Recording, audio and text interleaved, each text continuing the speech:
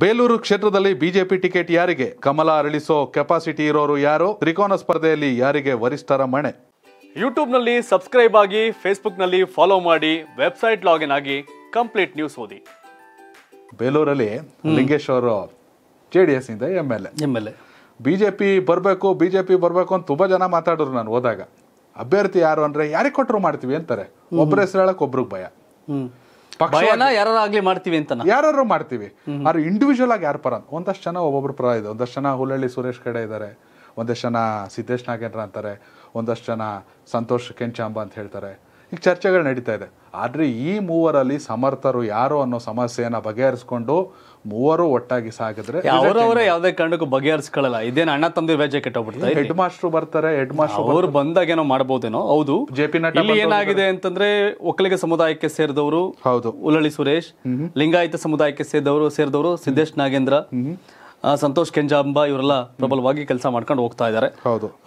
ರಾಷ್ಟ್ರ ಧರ್ಮ ಅನ್ನೋದು ಒಂದು ಡಿಜಿಟಲ್ ಪ್ಲಾಟ್ಫಾರ್ಮ್ ಅದರ ಮೂಲಕ ಸಂದೇಶ ಸಾರೋದು ಸಂತೋಷ್ ಕೆಂಜಾಂಬ ಅವರದು ಹೌದು. ಸಿದ್ದೇಶ್ ನಾಗೇಂದ್ರ ಇಡೀ ಬೇಲೂರಲ್ಲಿ ನಿರೀಕ್ಷೆಗಿಂತೂ ಅತಿಯಾಗಿ ಜನಗಳ ಜೊತೆ ಬೆರೆತು ಅವ್ರದೇ ತಂಡ ಕಟ್ಕೊಂಡು ಅವರು ಹೋಗ್ತಿದ್ದಾರೆ.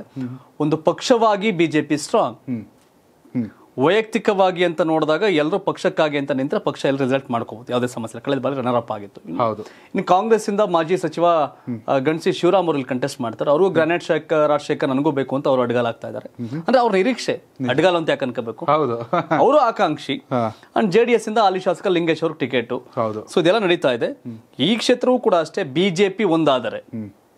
ಒಗ್ಗಟ್ಟಾಗಿ ಚುನಾವಣೆ ಮಾಡಿದ್ರೆ ಬಿಜೆಪಿ ಬೇಲೂರಲ್ಲಿ ಬಿಜೆಪಿ ಬಾವುಟ ಹಾರಿಸಬಹುದು. ಪ್ರೀತಮ್ ಗೌಡ್ರು ಒಂದಷ್ಟು ಇನಿಷಿಯೇಟ್ ತಗೊಂಡು ಹಾಸನದಲ್ಲಿ ಒಂದರ ಜೊತೆಗೆ ಇನ್ನೆರಡು ಕಮಲ ಅರಳಿಸ್ತೀನಿ ಅಂತ. ಅಲ್ಲಿ ಅವ್ರ ಆಪೋಸಿಟ್ ಯಾರು ಬರ್ತಾರೋ ಅಣ್ಣ ಬರ್ತಾರೋ ಅಕ್ಕ ಬರ್ತಾರೋ ಕೊಡ್ತಾರೋ ಅದ್ರ ಮೇಲೆ ತಾನೇ ಅವರು ಅಕ್ಕಪಕ್ಕ ನೋಡೋದು. ಅದಕ್ಕೆ ಅವ್ರು ತಲೆ ಕೆಡಿಸ್ಕೊಳ್ಳಲ್ವಲ್ಲ ಸೊ ಹಾಗಾಗಿ ಟೆನ್ಷನ್ ಇದಿಷ್ಟು ಕತೆ. ಬೇಲೂರಲ್ಲಿ ಬಿಜೆಪಿ ಒಗ್ಗಟ್ಟಾದ್ರೆ ಫಲಿತಾಂಶವನ್ನು ಮಾಡಿಕೊಳ್ಳಬಹುದು. ಯಾವುದೇ ರೀತಿ ಡೌಟ್ ಇಲ್ಲ.